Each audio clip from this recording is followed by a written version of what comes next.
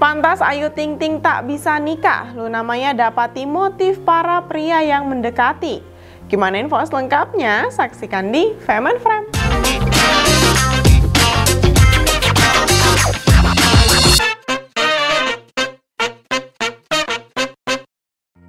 Halo, kembali lagi dengan aku, Gaida. Setelah bercerai dari Angie Baskoro, pedangdut Ayu Ting Ting tak bisa nikah lagi. Padahal sempat menjalin asmara mulai dari Sahir Sheikh hingga Adit Jayusman. Bahkan kalau bersama Adit Jayusman, Ayu Ting Ting nyaris menikah sebelum dibatalkan pada 2021 lalu. Kini terungkap penyebab Ayu Ting Ting tak bisa menikah sampai sekarang pada Luna Maya. Dikutip tribunmedan.com diketahui Ayu Ting Ting masih betah hidup sendiri bersama keluarga dan putrinya Bilkis Humairah Raza.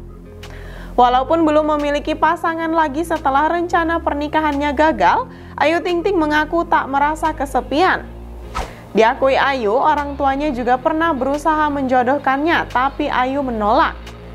Ada banyak pertimbangan, salah satu adalah rasa trauma akan kegagalan menjalin hubungan. Selain itu, Ayu juga ingin memastikan pria yang akan menjadi pendampingnya kelak bisa menerima dan menyayangi Bilkis, putrinya. Karena itu, Ayu sekarang mencari pasangan yang bisa bertanggung jawab, tidak hanya untuk dirinya, tapi juga putrinya. Sampai saat ini, Ayu menyebut putrinya itu belum bisa lengket dengan siapa pun.